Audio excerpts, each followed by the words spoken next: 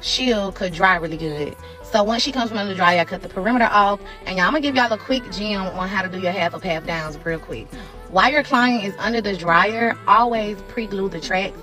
I only spend like five to 10 minutes on the back with styling and everything. So I always say that makes the process quicker, y'all. And this was only the first bundle, y'all. And I glue her track very closely because I love for curly hair to look very thick in the back.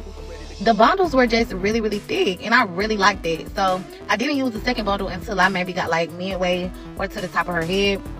So when we went to the top of her ponytail, I did use one full bundle.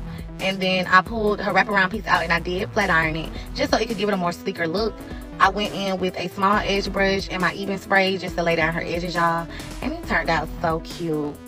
Y'all know how I do. It was really, really cute. So let me know what y'all think in the comments.